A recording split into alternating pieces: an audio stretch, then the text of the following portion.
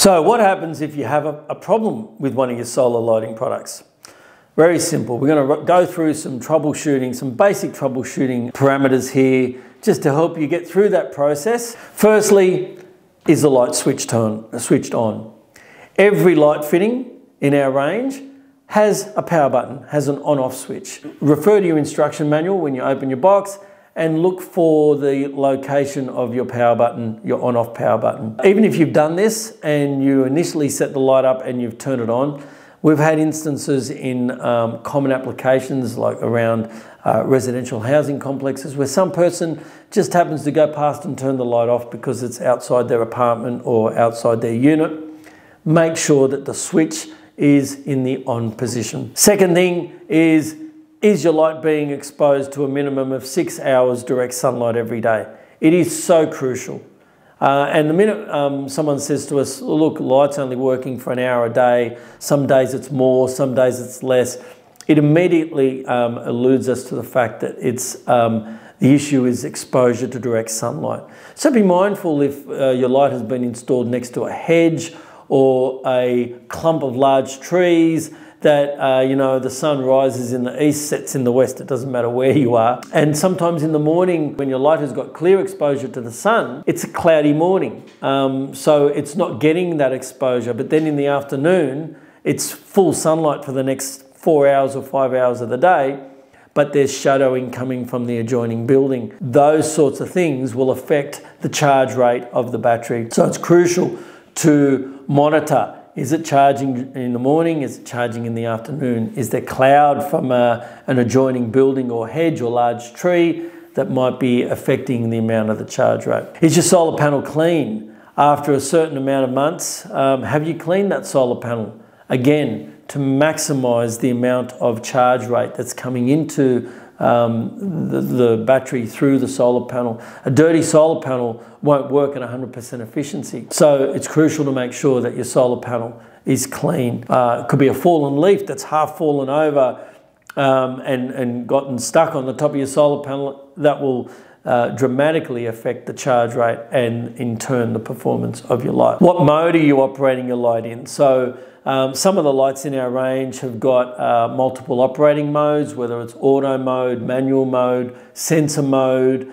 Um, it's important to remember what mode you've got your light operating in um, when you talk to us because we'll know uh, based off what uh, mode that it's in um, how the light should be performing. Everything has a rated performance um, uh, output or characteristic they are um, parameters that are set around uh, perfect um, scenarios, maximum exposure, um, clean solar panel, no clouding, um, no overshadowing. So, you know, if we say something's rated at six to eight hours or eight to 10 hours or 10 to 12 hours, that's in a perfect world, full northern sun exposure, no clouding. So take those things in a mind, in, in, into a, in a mind when you're selecting your light and then when you're calling and saying it's only running for an hour or two hours. What effects or what different scenarios in your environment are affecting um, the performance of that light um, because it's a massive factor. Switch your light off. It's a key thing. So if you find that your light's only running for one or two hours a day, turn it off. Leave it in the sun for two to three full days. Now, when we say sun, I don't mean outside and overcast day, exposure to daylight. It won't do it. It needs full sun. And by turning it off, what that does is it banks up the, the storage. It, it, will charge that one day, even if it doesn't charge to 100%, might only charge to 30%. Well, if it's an overcast day, that's all it's going to do. So by turning the light off and letting it bank that charge, not um, operating over night time, and then the next day banking another 30%, not turning on that night, and then banking another 30% the following day, essentially, you've charged your batteries by 90%. That's a good indicator for us to, to let us know that it is um, the amount of exposure to sunlight that your light's getting um, or that your solar panel's being exposed to.